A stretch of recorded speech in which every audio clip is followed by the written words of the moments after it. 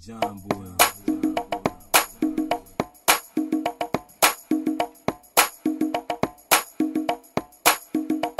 a special time to give a special group applause today. Freedom Train showing love for the month of May. The black women everywhere, no matter position or age. We know the truth because of you that we can dare to be great. Showing love to the warriors, queens, mothers, and sisters. Black women keep achieving is needed in this picture.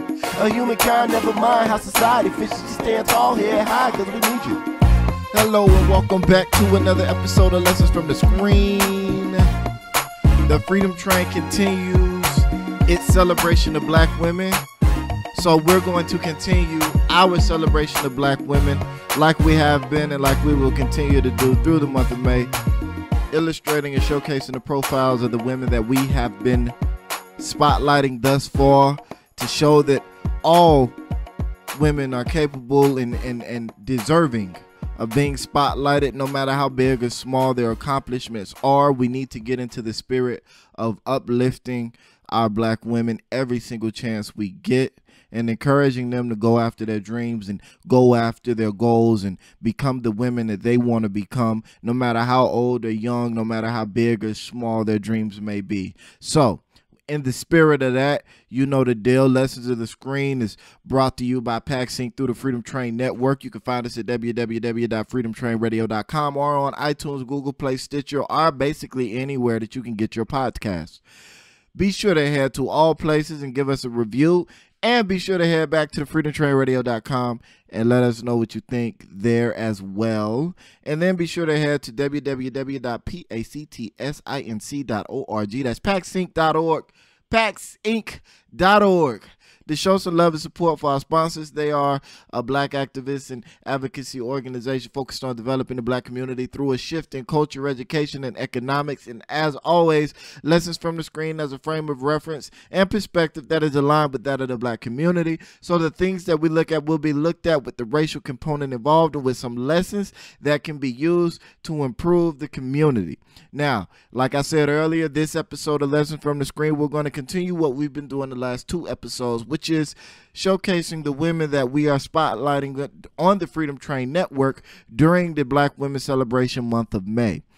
Now, we're going to do things a little bit different this week versus last week. Uh, I'm going to read the the names and the dates like I have been doing, and then I'm just going to give a brief summary of of the women's profiles and we're going to move on because I don't want to be redundant and I feel like I'm being redundant in the commentary. We already stated overall what the goal of this thing is and all of these women should know up front that if we can do anything to help you, we're down for that. Reach out to us and that we love you. So with that being said, we're going to move on forward. So on May 18th, we chose to put our spotlight on Miss Angel Olafin. I hope that I'm saying that right and forgive me if I'm not. Now, she's a young entrepreneur, brand ambassador, and public speaker, and has been a young trailblazer in the Tallahassee community. So, for the past few years, Angel has used her event planning and marketing skills to plan grand openings for small businesses, coordinate nightlife events for college students, host toy drives during Christmas for underprivileged children, food drives to feed the homeless, and facilitate various networking events at Hotel Duval, Nefertari's, the Southern FAMU, the Window Garden Hotel, the Walker Ford Community Center, the Mint Lounge, and several other local venues. Now, Angel is constantly seeking different avenues to give back to the community. She has volunteered at women's shelters, mentored students, and marched in various protests throughout Tallahassee. She's been busy. So, and and amidst all that, she has also found time to help several people launch and build successful brands. Now, she hosted her first networking event on March 2015 called Women Hustle Harder. And this event brought out several student female entrepreneurs and allowed them to vend and network with other, other local female bosses. The success of this event is what motivated Angel to start working alongside women in the business field. Years later, on December of 2017, she launched a platform called Boss Women Tally, a local female professionals upcoming and aspiring for, excuse me, for local female professionals and upcoming and aspiring entrepreneurs, aspiring entrepreneurs. Her mission was to provide women with networking opportunities, exchange knowledge and resources, build confidence, and receive support in their business and their personal endeavors.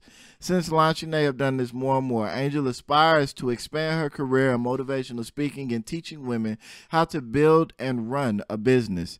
At just 23 years old, Angel continues to be an inspirational powerhouse and overall staple in the young professional entrepreneurial community of Tallahassee. So go to the website definitely and check her out. There's a link to her website there.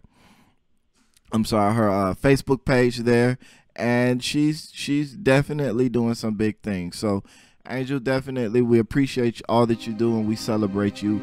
Keep doing your thing. So on May 19th, we put our spotlight on Miss Christy Kennedy. Now, Miss Kennedy, Mrs. Kennedy, is the owner of Queen Confidence, Queenfidence. I like that. Queenfidence. Queenfidence Image Consulting and is a certified impact coach and licensed image enhancement consultant. She empowers female influencers through insightful and inspiring leadership development training. As a global transformational speaker, Christy is skilled in four areas of peak performance mindset mastery, massive momentum, magnetic mes- messaging, and potential maximization. I'd have said that over. Hold on. Christy is skilled in four areas of peak performance mindset mastery, massive momentum, magnetic messaging, and potential maximization. Do it big then. Christy has a passion for igniting leaders who have reached a plateau with limitless possibilities. Her creative teaching style will equip you with confidence, and clarity keys to break down your complex vision into daily action steps. In her words, small adjustments lead to big attainments. That's true. One minuscule act can create massive impact. The that's true part was my words, not her words. Elegant speech, executive shine, and effortless style. Do it big then. Go to the website and check out Queenfidence com. You can get that through a link on the Freedom Train Black Women Celebration page dedicated to Mrs. Christy Kennedy. Or you could just go to www.queenfidence.com. Do it big. So on May 20th, we put our spotlight on Dr. Brianna S. Journey. Brianna S. Journey. I hope I'm saying that right. It's spelled Journey, but it don't it got the Y. It don't got the Y on the end. It's got two E's. J O R J O U R N E E. Uh but uh oh wait, there's an accent over the E. And we gonna call her Brianna. Her mama named Brianna. We gonna call her Brianna.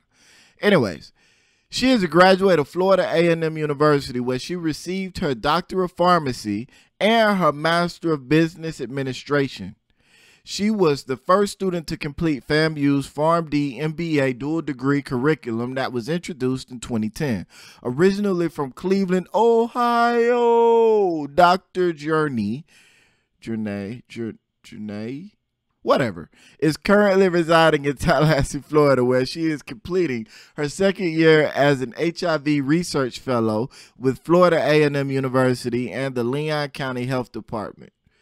In this role, she serves as the AIDS Drug Assistant Program Pharmacist, ADAP, where she is responsible for dispensing and maintaining inventory of ADAP medication for Leon County, as well as provide medication therapy management services to patients. She also lectures students in the College of Pharmacy on topics concerning HIV and opportunistic infections. Additionally, Brianna is a credentialed pharmacist under the American Academy of HIV Medicine.